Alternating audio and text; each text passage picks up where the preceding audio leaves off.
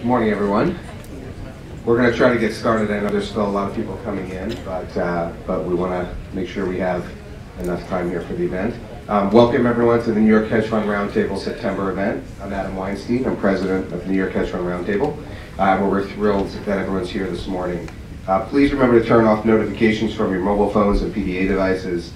Uh, the press is in attendance this morning, and so this discussion will be on the record. Now on to our main event. So we're thrilled to have with us this morning uh, Leon Cooperman, the founder, chairman, and CEO of hedge fund Omega Advisors, which has more than three and a half billion of assets under management. After completing an MBA at Columbia, Mr. Cooperman began his career in finance in the investment research group at Goldman Sachs. In his 25 years at the firm, he held various positions and eventually went on to help set up the firm's asset management unit, which he oversaw as chairman and CEO before leaving to start Omega Partners in 1991. In addition to being a force within the hedge fund industry, Mr. Cooperman and his wife are active philanthropists and have signed on to the Bill Gates and Warren Buffett's Giving Pledge. Like all of you, I'm eager to hear uh, to hear Mr. Cooperman's thoughts on the alternative investment industry. Today's event is going to be moderated by Michael Patinella, a partner at Grant Thornton, where he serves as the firm's national asset management sector lead. Without further ado, and, and again, uh, to make sure we have time for the content of today's meeting, I'll turn it over to Mr. Patinella to get, get us underway.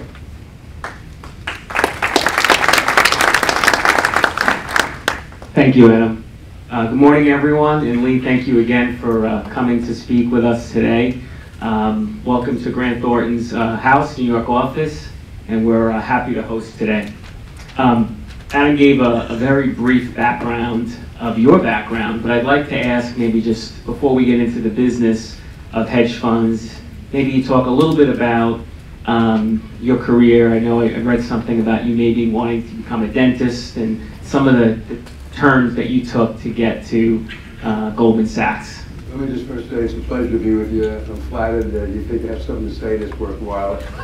and I will be honest with you, meetings like this are as valuable to you as the quality of your questions. So you will be the key determinant that this is a good meeting for you guys or not. Uh, I didn't talk about uh, it, it's an interesting lesson, you know, but uh, back in the 60s, if you completed your major and minor in college in three years, it allowed you to count your first year of uh, dental, dental or medical school toward the fourth year of college and a separate degree. So in the summer of 1963, I took uh, physical chemistry at the University of Pennsylvania, finished up my major, which was chemistry, my minor was math and physics, and I enrolled in the University of Pennsylvania Dental School. And after eight days, I started to wonder if I was pushing myself in a direction I was totally committed to. And we all could laugh about it, but it was uh, you know, a very heroic decision on my part, but you got to keep in mind, I paid tuition for a year, I paid room and board. My father, may rest in peace, would walk around saying my son is a dentist. all my friends knew me be in dental school. I drilled my initials LC into all the equipment. They you things disappear in the laboratory, so put your initials on your equipment so you know it's yours. I had to go to the dean of the dental school to tell him that I wanted to go back to undergraduate school. And he put me on a guilt trip saying I deprived the 101st applicant of the dental education. I wasn't smart enough at that time to realize you just could call somebody in the wait list after eight days and bring them in. The only guy that really understood the uh, trauma I was going through was the dean of Hunter College, who had approved my matriculating back into school. I went back to Hunter. I had all electives my major and minor was complete, and I took 10 courses in economics, got 10 A's, never looked back. And so uh, my son, uh, I have a son who graduated Phi Beta Kappa at Stanford. His best job offer was the two-year analyst program at Goldman. And I told him this is indentured servitude. I don't think it's for you, but he took it. And after four months, he came to see me and he said, this is bullshit they haven't given me a day off in four months. They called me up in the middle of the night to come into Xerox presentation booklets. This is not what I got a Phi Beta Kappa degree in. Going to quit. And so I said, just do me a favor. Uh, tell the guy who runs the training program you're unhappy. Excuse my back here. That you're unhappy. Um, and uh, he's not going to care, but at least he'll protect himself with his you know, senior he reports every week as to what's going on with the trainees you can say Cooperman doesn't seem all that happy. Number two, you have to understand you have to support yourself. I'm not going to support you. Number three, you have to ask my opinion, which you've already done. And number four, uh, I told him about my dental school experience. And my whole philosophy of life is, you know, you gotta do what you love, love what you do, and uh, he found his way. I mean, he's smarter than me because he just retired and became a family office after running a hedge fund for 20 years. I'm still slugging it out. So, uh, but that's the dental school story. Turning my back at it, I'm gonna take the liberty, if you wouldn't mind. Uh, I had uh, dinner with Warren Buffett in September of 2010, and uh, when he solicited me for the Giving Pledge, and I knew what I was gonna do independent of him, because it's like a gambling junket. You don't go to Las Vegas uh, without the attention of gambling. I'm not, I don't go to Las Vegas, because you have people looking over your shoulder and trying to get you to the bet. So if you go to dinner with Buffett and you know what he's asking for, you kind of make your mind up before you even go to the dinner. So I wrote him a letter, I'll read it to you, because really it's my narrative, it's my story. I've lived the American, um, the American dream. So I said, uh, Dear Warren, Toby, that's my wife, we're married 53 years, uh, Toby and I very much enjoyed our dinner with you, Bill, Melinda, and Mayor Mike. That's Mike Bloomberg. The graciousness of the mayor's hospitality is matched only by the interesting guests and the quality of the dinner conversation. Concept of the giving pledge is intriguing and meritorious. The fact that Toby and I are even candidates to make the pledge is a testimony to the American dream. Uh, I get sentimental. Let me explain. Uh, I'm the son of a plumber who practices trade in the South Bronx. I'm the first generation American born in my family, as well as the first to get a college degree. My education is largely public school based. The fact of the matter is, uh, I walked grade school, high school, and college. Okay, uh, I went to PS 75 in South Bronx, Morris High School in the South Bronx, and then I went west. I followed Horace Greeley's advice, go west young man. I went to the West Bronx, and went to Hunter College. I had a short stint at the Columbia University Graduate School of Business where I earned an MBA, and that opened the door to me, uh, for me to Goldman Sachs. I joined the firm the day after graduation. I graduated January 31, 67, and a National Defense Edu- Education Act student loan. Had no money in the bank, had a six-month-old kid, so I couldn't take a vacation. I went to work the next day. I started my career Goldman February 1 of 67. Um, um, I had a near 25-year run of happiness and good fortune at Goldman Sachs. The last 19 years, now 26 years, uh, uh, at Omega have been years of happiness and good fortune with a few bumps along the way. While I worked hard, I must say I had more than my share of good luck. Uh, Toby and I feel it is our moral imperative to give others the opportunity to pursue the American dream by sharing our financial success. The case of philanthropy has been stated by others in a most articulate way in words that impressed me. Uh, in the early 1900s, Andrew Carnegie said, he who dies rich dies disgraced. In the 1930s, Sir Winston Churchill observed, we make a living by what we get, but we make a life by what we give. In 1961, President John F. Kennedy, in his inaugural address, stated, that's not what your country can do for you, ask what you can do for your country. Well before all these gentlemen expressed their thoughts, it was written in the Talmud, a man's net worth is measured not by what he earns, but rather what he gives away. And it was in that spirit that we agreed to take the giving pledge. So I, I'm really, uh, I'm actually a member of the Horatio Alger Association of Self-Made People, but I've lived the American dream. I've been very, very lucky. It's a great um, detailed history, and I appreciate you sharing that. Um, One of the things that, in researching for today, I thought was interesting, along with the dentist uh, portion of it, was how you left Goldman Sachs and why, after you came up the ranks um, in 25 years. Maybe you could just give a little bit of. Yeah, I, I had a wonderful career at Goldman. I love my experience there. I never would have left. You know, um, I had a lot of energy.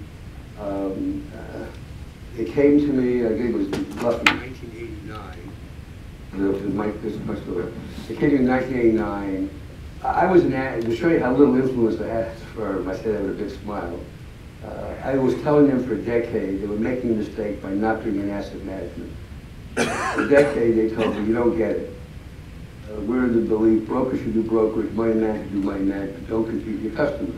They had this great fear that, you know, you walk in to make a presentation to solicit a new client, and next to you would be sitting, uh, you know, Dreyfus or T. Rowe Price soliciting the same client, and they, they start to say, well, why we do this with Goldman Sachs if Goldman's competing with us? I said, wake up and smell the roses, look around there. It was, uh, you know, uh, Ark Asset Management Division, Lehman, Webster Division of uh, uh, Peabody, uh, CSFB. Everybody was in the business save Salomon. One day they announced a very dear friend of mine, uh, who's an investor with my fund actually many years later, Bob Salomon Jr. was leaving the research department of Salomon to start Salomon Brothers Asset Management. And uh, Rubin and Friedman and said, we made a mistake, you were right, we were wrong, we can leave research and uh, build us an asset management business like you built research. Uh, I'm, I'm a humble guy, I don't want to sound like, you know, my shit don't stink. I took over research, Goldman Research was unranked. When I left the research department to start GCM, we were number one in II, number one in the financial world, which doesn't exist anymore, number one in Greenwich Research. And I competed also in the strategy category. I was number one for nine straight years in portfolio strategy. And I was ready for a new challenge, uh, and I made the mistake of saying yes. And I say it with a big smile on my face because it turned out, I learned six or nine months later, what Goldman's interest in asset management was right for the firm, by the way, it's a great firm, uh, and my interests were different. I had this view of managing money and having alignment with the client's interest. And their view was go out there and start new products and capture assets. So they understood assets under management times fee equal revenue. They're trying to build a big business. And I'm trying to build a money management uh, record. And so uh, the straw that uh, broke the camel's back or led to a change, I went to them. At the time, we were managing 20 billion, all money market funds, which we uh, got from ILA, which was an, an acquisition we made for nothing. That's a whole story in itself. Um, and we were earning $13 million a year at the partner charges, and which was a rounding error, even at that time from Goldman Sachs. Sachs in uh, 1991 uh, earned like about 1.8 billion. So I said, if I go out and raise $500 million in the form of a hedge fund, and we go up 20%, I'll add 150% to the division's profits and a 2% increase in assets. Um, and they reluctantly went along initially. And then what happened, uh, I'm telling all the family secrets, which are probably relevant to you. Uh, one guy in the audience who appreciates can verify everything I'm saying. Uh, something called the Water Street Recovery Fund blew up on Goldman. This was a vulture fund run by uh, three partners at Goldman. And um, basically, there was a guy in New Jersey, I think uh, Bill Huff, uh, ran a general strike against Goldman saying these guys were using confidential information to lift bonds that were defaulted from high yield clients of the firm, and uh, this is no good. And John Weinberg, salt of the earth, basically intervened, closed the fund down, gave the billion dollars back to clients. The firm came to me and said, the next, the last thing we're doing now is getting the hedge fund business because you're gonna wind up being short an investment banking client and firm. The client will find out, we'll have hell to pay. So you leave research and you build GSAM as a money, ma- as a business manager, not as a money manager. And I credit my wife for 53 years for giving me the right line. She said, how old are you going to be and how rich are you going to be before you do what you want to do? I didn't want to build a new business. I wanted to manage money. And so I retired from the firm, but I believe in noblesse oblige. I was a consultant to Goldman for over a year, and I was rewarded initially by them investing with me, uh, and we had a great relationship. You know, it's a change firm now, but you know, change comes with size. Like, you know, be it as it may, we can talk about that in a different question. But so anyway, I, I, I really just want to manage money, and uh, it was a good change, and uh, it worked for me. I wouldn't be poor if I still at Goldman. I would be doing okay. Sure you would be, um, and you are. Um, bold decision, um, you know, leaving Goldman and starting on your own, but maybe, like you said, how rich or, you know, old do you have to be to make that decision. What would you give as advice to maybe some of the folks in the crowd that are thinking about starting a hedge fund with the looming, you know, fintech and technology? different world we live in today. I mean, uh, if you can't, uh, assuming you're not rich, uh, to me, you got to have at least a hundred million dollars to make the, the switch.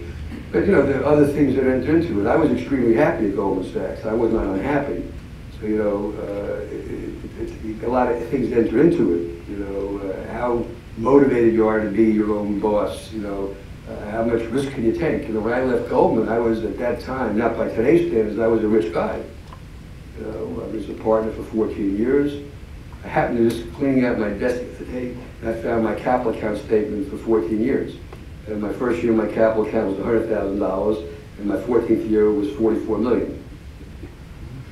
Okay, uh, and then I had money outside of the firm, so I was a wealthy guy by those standards. Today, You know, I marvel at it, you know. Uh, I'm a good war storyteller, but the good news is they're all true stories.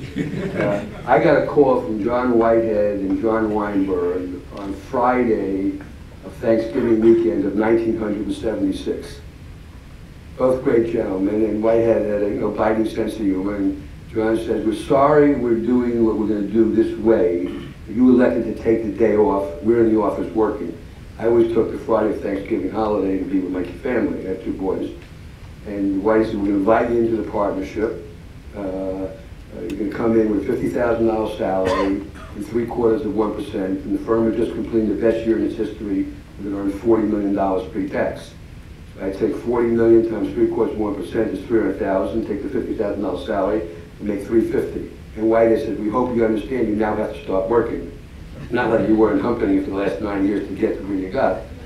And then, and then a period from 1976 to 1991, uh, uh, the firm's profits, with only one relatively flat, small down year, went from 40 million pre-tax to 1.8 billion. One flat commodity down year was the year that the major firms in Wall Street got together and privatized uh, the oil company, I think it was, uh, British Petroleum. And uh, they got hooked on the block and they lost a big chunk of dough. Uh, but um, it, I was there for a great run. Um, and you know, part of life is luck. You know, when I when I interviewed uh, um, in 1966, I, I, graduated as I mentioned January 31 67. I was interviewing for a job in 1966. In 1966, the Dow was roughly a thousand, and uh, in uh, 16 years later, it was a thousand. Okay, uh, the firms that were interviewed in 1966 you, you did the old line about you could tell the height of Wall Street by the number of crumbling walls. Nobody thought that the market was at a high that would persist for 16 years. So uh, I had 16 job offers. Um, I was a very serious uh, package. I had a six-month-old kid. I was straight A's, Beta Gamma Sigma, Wall Street Journal Student Achievement Award, et cetera, et cetera. And, you know, I was an attractive package. And I made the decision to go with Goldman, and Goldman wasn't the highest offer. And then if you look back, uh, just visualize what a tombstone looked like. You don't even have tombstones anymore. 1966, Goldman was one of the few firms in the business that, that remained one firm. You know, I could have gone to White Weld, Kuhn Loeb, Loeb Rhoades, Goodbody, you name it. Uh, instead, I went to Goldman because I liked the people I met. So that was another good decision. Luck, call it luck, call it intuition, whatever you want. But uh, and I prospered.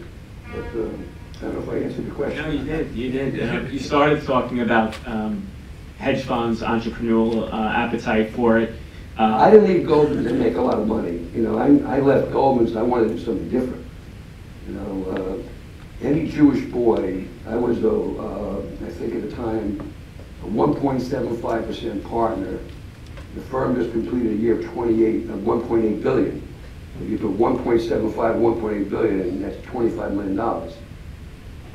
Now, you didn't get the money, you know, the firm pays your taxes, they give you a charitable contribution allowance, and everything else stays in the firm. But, you know, I'm a very simple guy, you know.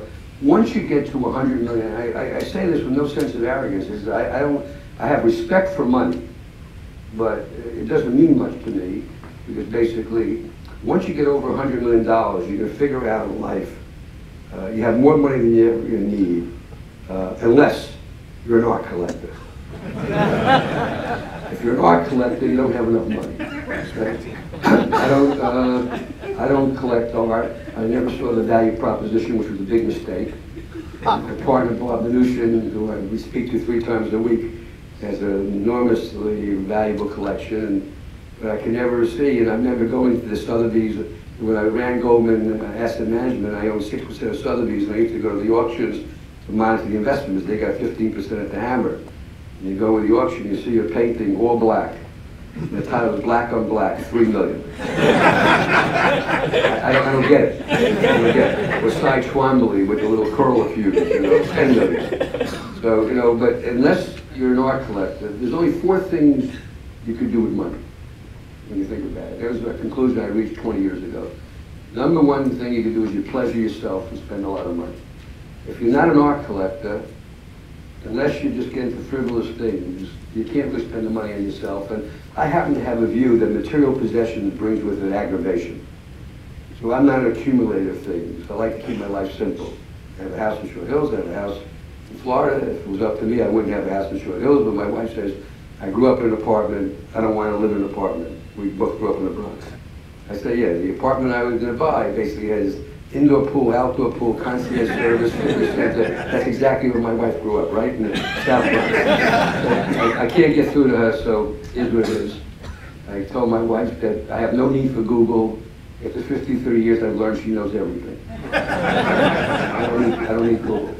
So the first thing you do with money is you pleasure yourself for spending on yourself. I'm not an art collector. I'm not a clothes horse for obvious reasons. Um, so I can't spend it on myself. The second thing you can do with money is you can give it to your kids. Now, I don't think I don't think it's wise to give if you have a lot of money, give all your money to your kids and deprive them of some ability to become self-achieved. So I've given my son and my two sons more than they should have gotten, but not no nothing remotely to what I have. the third thing you can do, excuse me, is give it to the government in the form of taxation, but only a full give the government money you don't have to give. The best example is Warren Buffett. He talked about rich people not paying enough in taxes, but he runs a $250 billion enterprise and he takes a $100,000 salary and he's giving all his money away to charity, so he pays low taxes. And the fourth thing you can basically do is recycle it back into society. And the reason I took the Giving Pledge is that's my major, major motivation. Um, talk a little bit about Omega and uh, the time that you've spent growing that and some of the, the challenges that you were previously up against and, you know, The challenges I were up against were nothing, nothing compared to what I did with the SEC, uh, which we'll get to, I'm sure. And I don't mind that question. I just gotta be careful how I answer it because they're, uh, in my opinion, they're a, I don't wanna say criminal enterprise, but they're basically, they are, they are basically, they are basically, um, they abuse their position, um, and uh, they're very wrong-footed uh, in what they do. And I entered into what's called the no admit, no deny. I want to make that clear. I cannot say I'm innocent. Uh, uh, they can't say I'm guilty. Uh, the facts speak for themselves. And if you ask me the question, I will give you the background. Uh, but I uh, entered with no admit, no deny. But they take advantage of the system that exists, and you understand that I answer the question. No, you want me to, you know, maybe I'll take it? please. So, uh, again, uh, all this has been written about, and if you really want to get into it, I'm happy to provide you all the stuff in writing. Um, I had a 10-year relationship with a company um, uh, that owned Atlas uh, Energy. The company I owned was called Resource America. I owned it from 2000 uninterrupted to 2016. Had a 16-year holding period. You guys assume I'm an investor, right? Within Resource America, they had a company called Atlas Energy, an energy company. That was one of the reasons I owned it, because it was an under that conglomerate that had a financial services business and had an energy business. In 2004, if memory serves me right, they sold 20% of the energy business to the public. I bought it on the deal. In 2005, they spun out the remaining 80% they owned tax-free. And as a large Rexy shareholder, I got my proportionate shares. I held that for seven years. Atlas Energy, I forget the year, maybe five years ago, was taken over by Chevron for cash. Along the way, Atlas Energy creates a new company called Atlas Pipeline, which initially I never owned. In 2007, my brilliant analyst, who I terminated later, later, nothing to do with legal things, recommended it, and it passed muster. Our stock selection committee went along, and we put $100 million in on a pipe deal at 44 and three quarters. Because of my relationship with the Atlas company Rexy, uh, and there was extra stock available, I was able to buy stock. My wife, my foundation, my youngest son was a scientist, knows nothing about the stock market, and myself. All at the same price the firm, 44 and three quarters. Now, to admit a colossally bad job of risk management, the stock went from 44 and three quarters in 2007 to $10 in 2010. I rode that piece of dung all the way down. now, basically, again, common sense. Why do you hold something from 44 to three quarters of 10? It's because your analyst the management, the street are telling you that the problems are overly discounted, the stock is cheap, and you hold on. In 2010, I get two new clients in. Industry best practices, you rebalance the new accounts into the inventory that you own, that you still like. And I buy $3.8 million worth of stock, which is a 2.5% increase in the position size, only those two new accounts. You have a bunch of accounts in the audience, you know, in the hedge fund business, you have your money in the partnerships, in the separate accounts, it's the client's money. Not one entity at Omega that I had money in did I buy stock. The stock was bought in these two new accounts. My wife didn't buy a share, my son didn't buy a share, my foundation didn't buy a share. I actually did buy 50,000 shares, but I owned a million shares already. Okay? Um, we, we were, uh, we were getting so hammered in the stock, and I didn't know what to do. I was short options at $1.60 on 10% of the position size. When the options went to a nickel, I covered them in a nickel. Never went long an option. Okay, never went long an option. My son, who I was uh, his largest investor by a factor of 10 in his hedge fund, was short the stock the day of the announcement. Short the stock. Okay? Good news comes out. Okay? I don't sell a share for 13 months. 13 months later, I eliminate the position at a $34 million loss, selling it at a lower price than before the good news came out. Lo and behold, five years later, I get a subpoena from the SEC. I tell my uh, attorneys, tell the SEC, wi- withdraw the subpoena. I'll meet with them, answer all their questions, and if they don't like the answers, they can reinstate the subpoena. They have nothing to lose. They refuse. I take uh, a number of months to respond to the subpoena, It's, uh, millions of dollars of data collection costs, okay? Uh, They take a number of months to follow up. I took the high road, and what I mean by that is I notified my investors, I didn't have to legally, I get, received a subpoena. This creates a level of anxiety, and the institutions start pulling out money. You know, I- I'm not going to make any value judgment, I mean, they're- they're nuts to have some fiduciary that doesn't do any homework, that basically they just run. They don't care about the facts. Um, I I can go there as well. And I lose four billion dollars of assets. If you understand the one half and twenty business, probably worth hundred and forty million dollars a year. Finally, I'm gonna get to the, the SEC comes, uh, and my lawyers tell look, you ruined the man's business, okay? Uh, say, well, the SEC says, if you want to settle, we'll take a ten million dollar fine, a five-year bar from the industry, and effectively admit you're guilty. You still gonna take a five-year bar unless you're guilty. I tell them to go F themselves, okay? And I realize we have a reporter here, I don't, anything I say is on the record. One thing I have to say is not on the record, so I gotta be careful. Uh, We haven't gotten to that point yet. I tell them to go F themselves, and I'll see them in court. Five months, this is the crusher, and I've written two letters to uh, uh, Clayton at the SEC with great respect, asking them to explain their behavior. Five months later, they come back after they destroy the business, well, significantly hurt the business, didn't destroy it, we're still in business. We have 3.6 billion, the trouble is 2.2 is our own, only 1.3 pays. Okay? They come back with no new information on their part. They say, okay, no bar, no admit, no deny, and give us 4.9 million after they destroy the business, ruin the business. Okay? There was significant new information available, which the privileged document I can't discuss, which any normal person would say, it was a document the SEC had in their files, which undermined their entire case. Okay, so now my lawyer, uh, who's a very fine guy, real gentleman, I two of them, Ted Dan Kramer, you know, uh, good guys, but, you know, then they had Bill. uh, You know, Ted says to me, you won. Anyone who understands the business knows no admit, no deny, no timeout, you won. Give them the 4.9 million. So if you don't give them the 4.9 million, we got a trial, 90% probability you're gonna win. The 10% chance you don't win has nothing to do with the merits of the case. He says, uh, the SEC has asked for a jury trial, okay? And you're basically a former Goldman partner, you're rich and you run a hedge fund, those are not facts that play well with the jury. Give them the 4.9 million. If you don't, we go to trial. You're going to win, but it'll take two years and 20 million to win. I gave them the 4.9 million. And the problem with the system, and I was rich enough and stubborn enough to put up with all the issues, The problem with the system is it's, there's no losing party pays. If we had losing party pays in America like they have in the UK, I would have gone to trial. I could afford to take the risk of $20 million, okay, because I would get the money back. The government would have to pay my costs.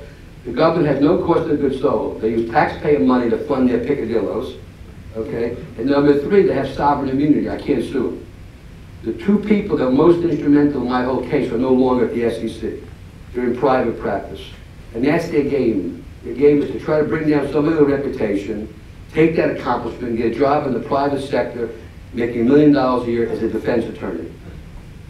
Now, my story pales, I, you know, I tell you a story about Hank Greenberg, I have enormous respect for. Him. Hank built the most profitable insurance company in the world over 50 years of hard work. Major philanthropist, World War II hero. 12 years ago, the, the uh, New York State Insurance Commission goes after him. It's like the SEC, all these regulators are out of control, okay. And basically, uh, he said, look, there's nothing wrong with Dunn. I give you $16 million so we can get on with our lives. They said, no, no, we want billions. This is all a true story, by the way. He gave me permission to part it. He said, he said, we want billions. He gave him the equivalent of Ephraim, okay. In the next 12 years, he and the government spent $200 million on legal fees, and the final settlement was $9 million less. He for $7 million, $9 million less than he offered him before $200 million was pissed away on legal fees. The system is out of control. I'll tell you one other story, true story. When I got out of Columbia Business School and started Goldman Sachs, I was lucky enough to get into a, an orientation session with Mr. Sidney Weinberg Sr., Mr. Wall Street, head of the War Production Board, uh, you know, major banker, you know, Mr. Wall Street, saved Goldman Sachs in the Great Depression. And I remember him saying during that orientation session that Goldman Sachs would never have, as a partner, an attorney who practices an attorney. That get the best legal advice on the outside, he probably was an attorney that became an investment banker. Well, today I believe that Goldman has five partners that are full-time practicing attorneys and a compliance staff of over a thousand. That's the business we live in today. So we were talking about starting a hedge fund. Uh, I think, you know, everything is processed now. You know, Madoff uh, moved that along. So you need a CFO, you need a chief operating officer, chief compliance officer. So it depends how, you know, unhappy you are in your current position, and how talented you are. You know, everybody must have from the golf club. Some people do it better than others, but you got to make that judgment. But I say it's a generalization. You need $100 million to be an economic uh, entity. My business loses money today.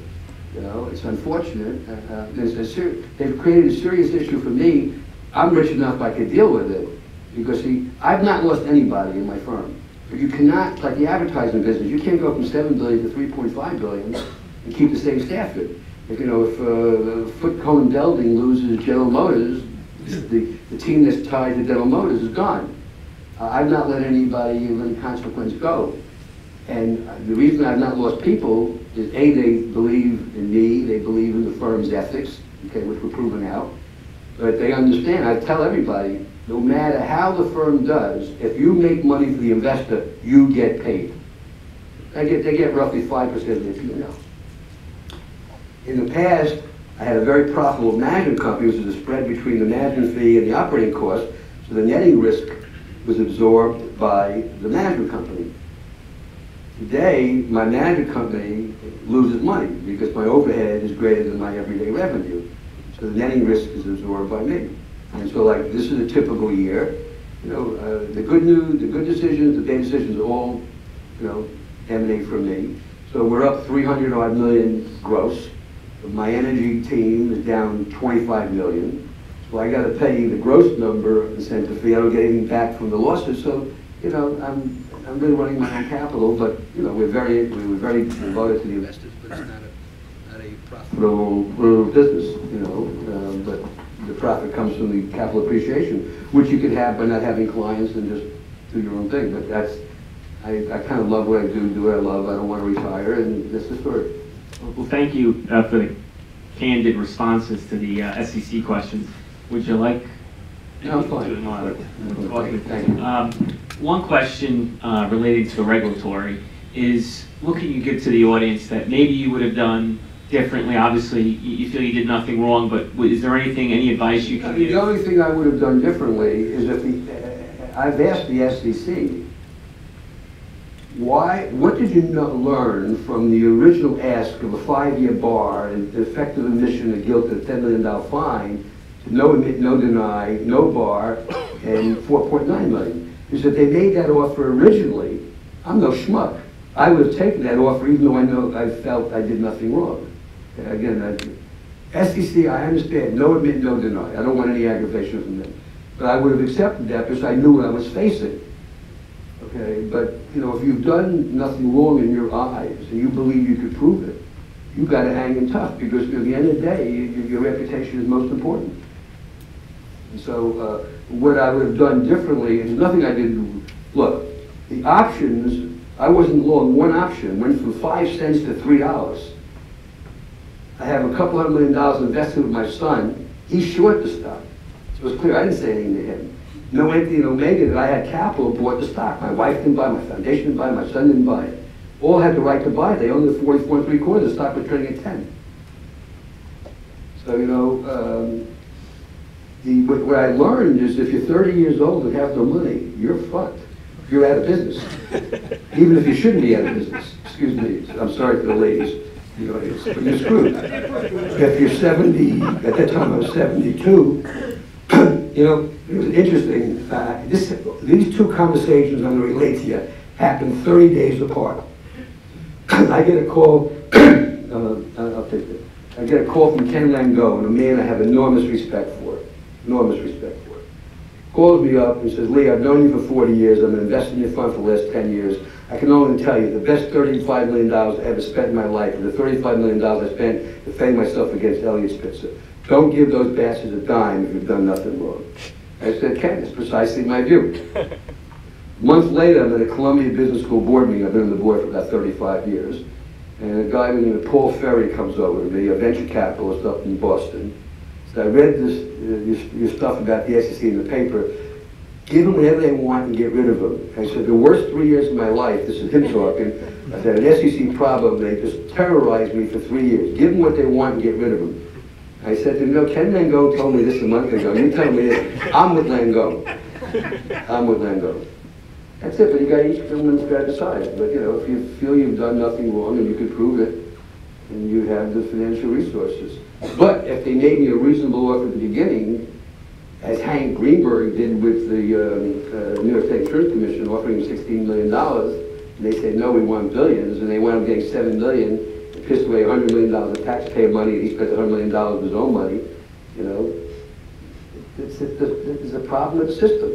There's a problem with the system. And that's why I've written to Mr. Clayton, you know, basically, that, you know, it's, it's wrong. When I offered to sit down with them and answer all their questions, basically, they refused. It could have been a, a lot easier. So, hey, I'll tell you another story. Uh, you, you don't have time, let me know. I'm a, I'm a. I'll tell you another story.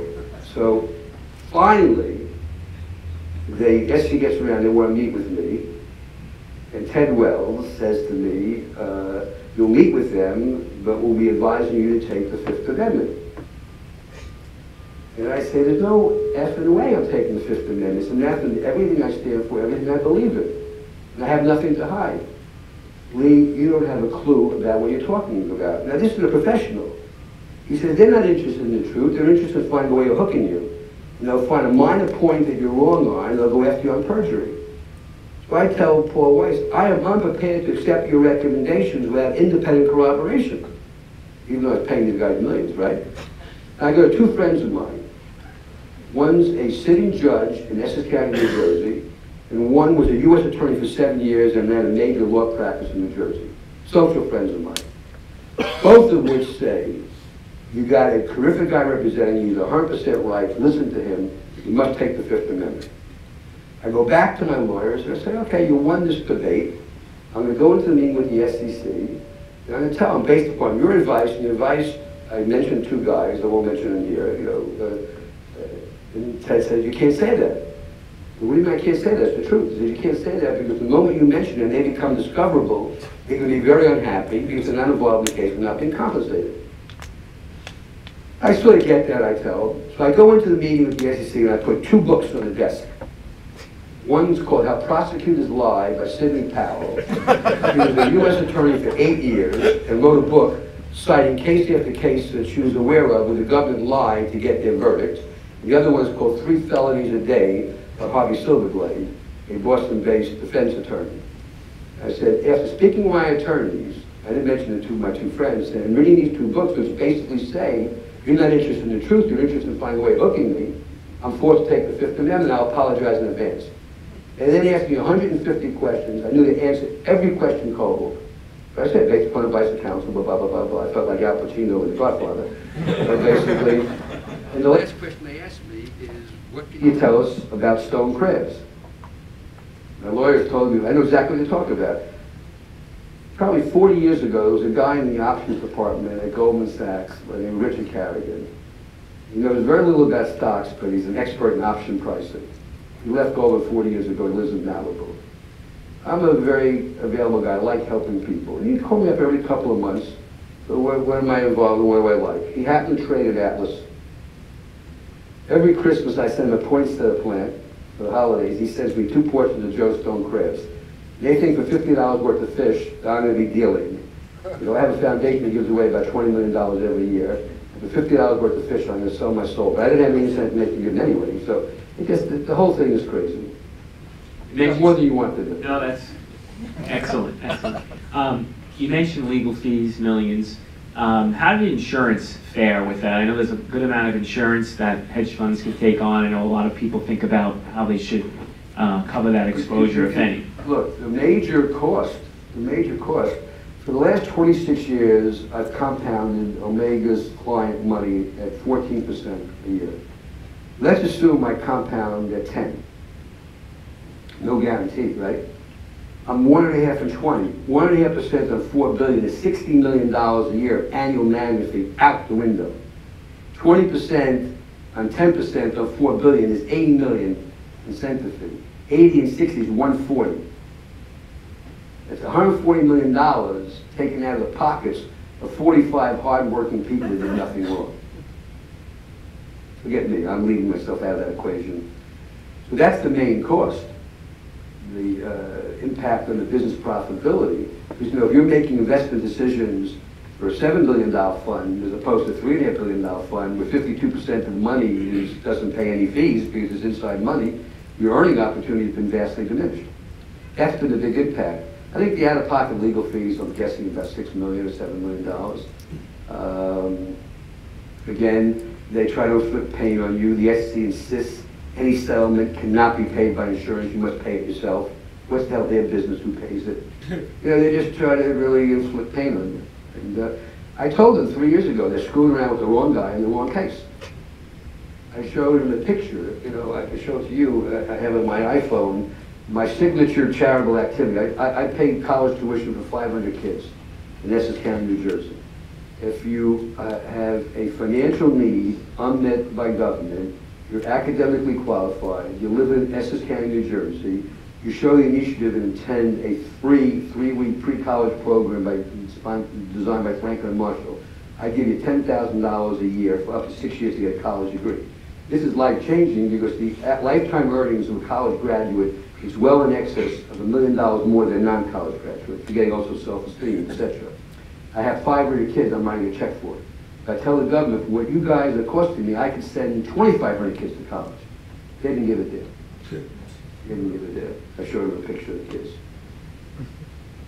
It is what it is. I probably said too much. I mean, God knows they come in and want to reopen the case. Part of, part, part of me wouldn't object, to be honest with you, because I, would, I, I really feel at the end uh, I would win, but whatever. We don't want to go through that aggravation. Okay, on that note, we'll switch topics a little bit. We'll switch to, good. you left Golden, you blame just, you if I get in trouble. okay, well, uh, Tim, um, if, if you really think about where you were back when you left Goldman, the mutual fund business is what they wanted to stay in, and, and you wanted to open a hedge fund for the obvious Anyone who wants to economics. use the fund business, let me just tell you something again. I mean, all these stories, they're all great people. I mean, the Weinberg family, uh, the salt of the earth.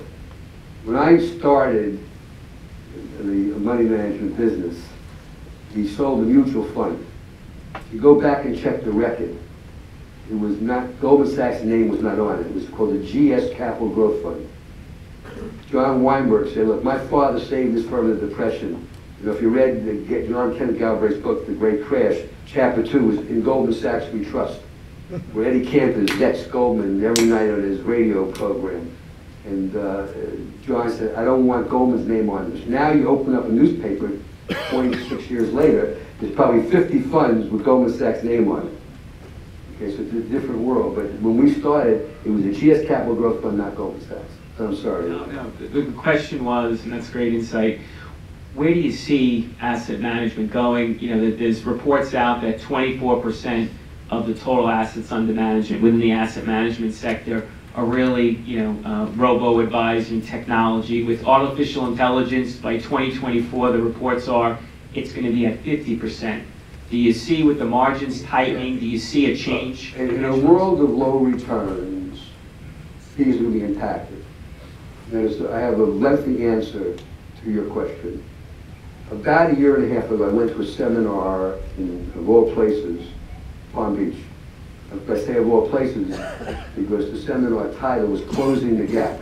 It was focused on income disparity, which interests me and why I took the Giving Pledge. There was a futurist that spoke at the conference, okay, and before I tell you what he said, I love Warren Buffett's comments about forecasting the future. He said, forecasts of the future tell you more about the forecaster than they tell you about the future. But this, for, this futurist said he thought the biggest problem facing the economy in the next decade was 45% of all jobs being performed in the economy were going to be replaced by automation, okay, um, and there's no alternative employment for these displaced workers. I went home that night, I started to think about it.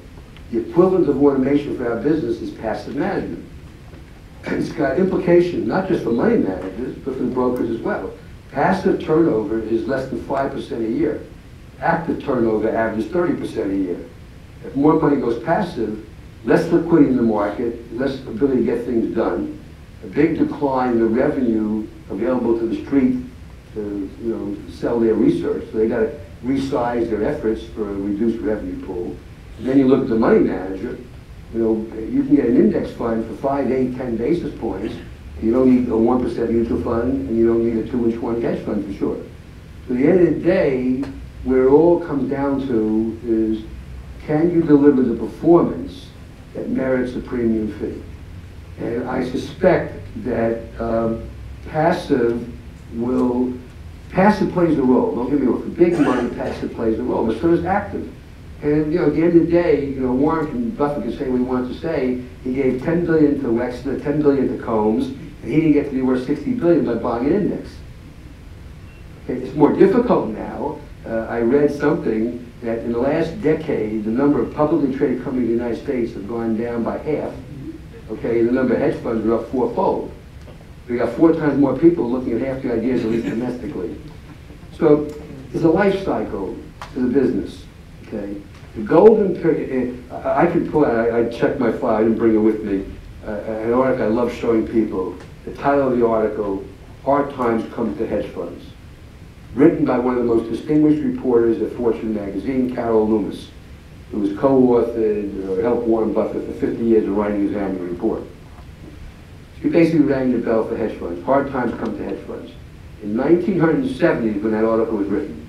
In 1970, the largest hedge fund was Steinhardt Fine Berkowitz at 49 million. The second largest was A.W. Jones at 30 million. The entire industry was less than a billion. Today is 3 trillion. So obviously her timing, you know, for a year she looked right, and the timing was all wrong. The golden period for hedge funds was 2000 to 2007. They were outperforming the index, they were outperforming uh, uh, conventional money managers. Money was coming in over the transom.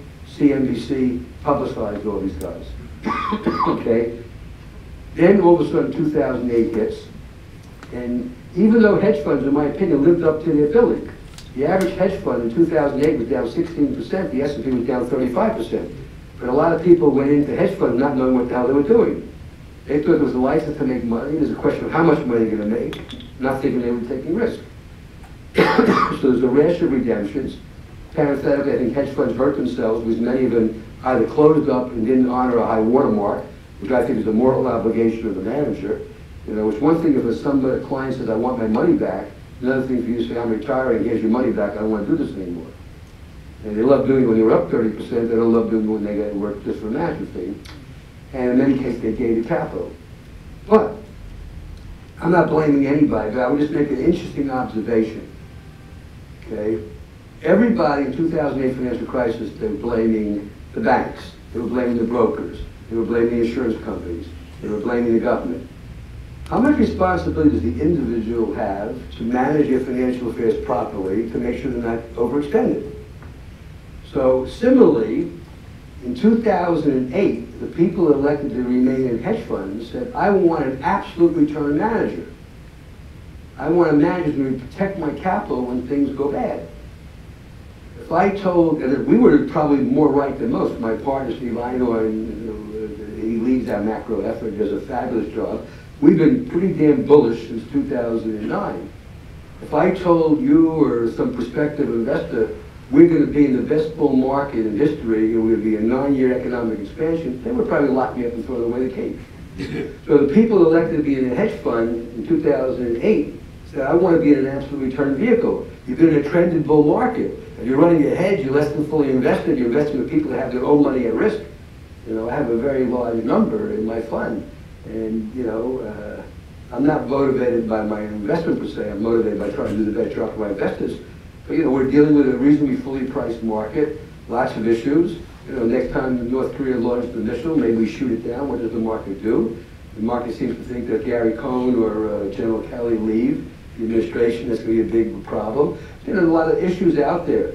Uh, and so, you know, uh, you cannot keep up with a index when you're in a trended bull market, unless you're in leverage and you go the all balls to the wall. So I think what's going to have to happen is the trend towards passive will continue until the next bear market.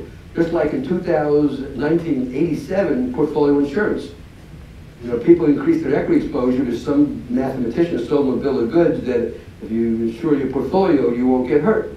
And we had the 22% decline in one day. We don't have that kind of an overvaluation because back then the multiples were 25 and interest rates were 9. Uh, we're, the bubble today is not in equities. The bubble today, in my opinion, is in fixed income. And where fixed income yields are, they've been basically pushing everybody out of the risk curve. So the people that never wanted to take risk and bought T-bills exclusively, like our good friend Gary, basically, they said, I can't survive on zero. I'm going to take duration risk, and I'm going to buy a T-bond. The T-bond buyer says, I can't get by on 2%, I'm going to buy an industrial credit. The industrial credit guy says, I can't get by on 4%, I'm going to buy high yield. The high yield guy says, ah, 6% doesn't impress me, I'm going to buy structured credit, which is a more opaque market. The structured credit guy says, well, I'm going to put a provision in my fund that I can put 25% in equities. So we're all moving down the risk curve, and until that reverts, and you need a reason. See, uh, I'm not, I'm not a pessimist. I think the market is basically okay. You know, it's fully valued, but not overvalued. And you know, the, the greatest comment, one of the great comments, uh, was by John Templeton, who observed the arc of a market cycle. He said, bull markets are born in pessimism, they grow in skepticism, they mature in optimism, and they die in euphoria. Pessimism ended in 2010. Uh, skepticism has ended. We are clearly in optimism, but I think there are very few signs of euphoria. You know, uh, market multiples about 18, high against history, but not high against uh, 2% 10-year governments, 1% Fed funds. And then you have this situation where you got the president advocating his tax package. That tax package is worth $10 in S&P earnings. Put a 15 multiple, and that's 150 S&P points. So, you know, I've never seen a stock up without a reason. I've never seen a stock down without a reason. It's my job to figure out whether the reasons are credible. But um, I'm sorry. No, no, no apology. We're going to um, stop with my questions, and we're going to open it up to the audience for some questions, if you don't mind. Good question. I don't know if there are any questions left, but we'll go ahead. Yes, sir.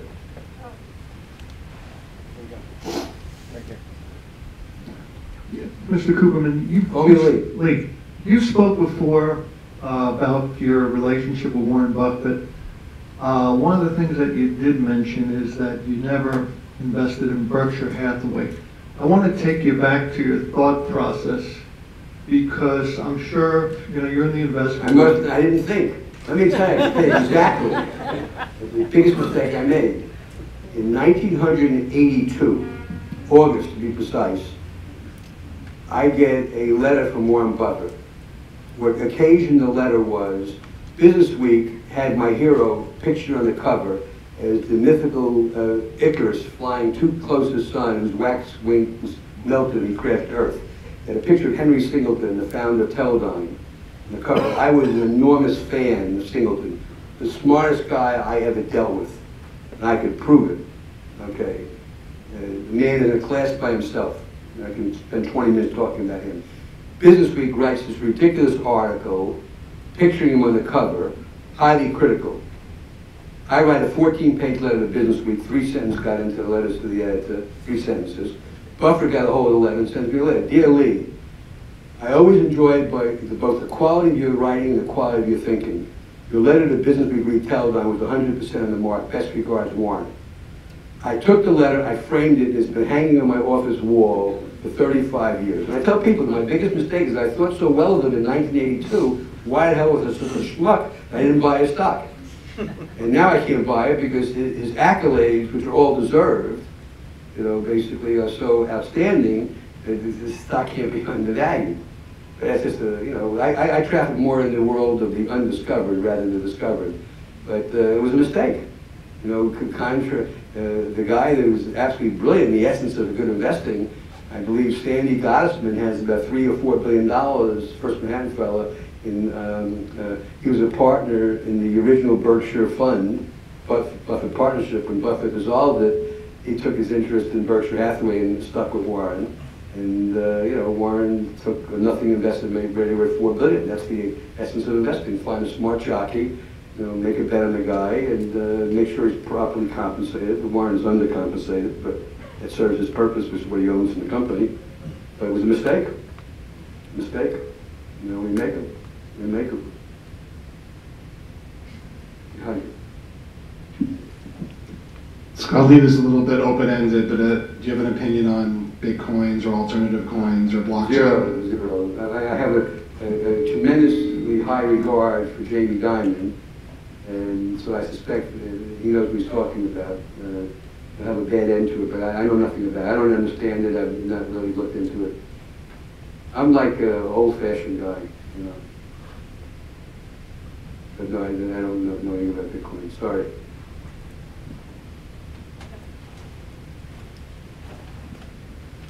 Thanks so much. I saw in the Bloomberg interview that you did with uh, Tom Keene that you noticed in the ADP debate with Bill Ackman, you noticed that the board member that Bill Ackman was going to appoint was 71 years old, and there's a statutory limit of 72 on the board. I was kind of curious about your thought process on discovery for new investment ideas, such that that's not like the that's not a detail that would be top of mind when I'm doing my No, that wasn't the essence. of- Let let me explain something, and I say this for the record.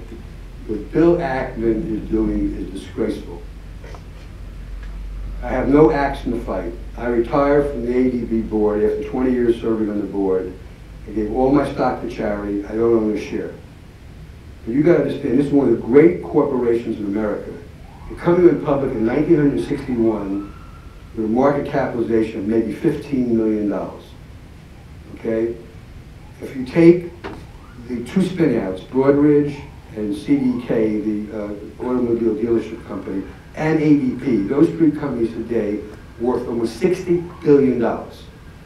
15 million in 61 to 60 billion in 2017 is a compound return of 17%. The company earns 40% on equity, the S&P earns 16% on equity. The company has a debt-free balance sheet. The S&P has 40% debt in their capital structure. The return on capital is materially better, ADP. The company's paid out 60% of their earnings in the form of dividends. They have bought back billions and billions of dollars of stock materially below the current price. They've outperformed their competition. He's got a, an, uh, and I'm not, by the way, commenting about his ideas. Bill's a bright guy. I respect Bill. I don't respect what he's done here. So, and I know exactly what went on. He called me up before all this was public, trying to elicit my assistance. He called me up and said, I spent six months studying the company. They have to, eh, eh, eh, you know, institute significant improvements. I'm not ready to present to the board. The nominating committee window closes in 10 days. I want them to extend it for 30 days. I said, the chance of that happening is zero. Okay, who do you think you are? Number one. Number two, if you spend six months studying the company, why didn't you time it such that you could make your presentation to the board? So why don't you take the next year to meet with this company? They're very shareholder friendly. They're not an insular company. They will meet with you, make your recommendations, and if you find they stonewall you or they don't give you an acceptable response, then a year from now, do your proxy fight. Not now. You can divert management, you can run up a bill. It's uncalled for. If I could find more ADPs to invest in, this stock was 27, 28 times earnings. The market was blessing it.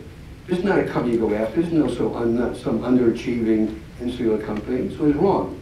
So the 71 was just an example of how much work he did because it was a mandatory retirement age of 72. Uh, but that, that wasn't my, my, my, my point was noblesse oblige. This company has done a great job. They don't deserve to be put through. Now his idea, which I, uh, I'm not an expert on, I'm off the board now for five years, I think is wrong. He says Paychex has profit margins up here, ADP's profit margins are down here. But ADP and Paychex are a different business. Paychex is down market, small companies, highly computerized. ADP has large national and international accounts which require a high-touch business. So they have more cost of running their business, but the return on equity is enormous at 40%. So I just think there's a better way of doing this rather than doing what he did. That's my view. So it's more not arguing the merits of his idea, but his deportment.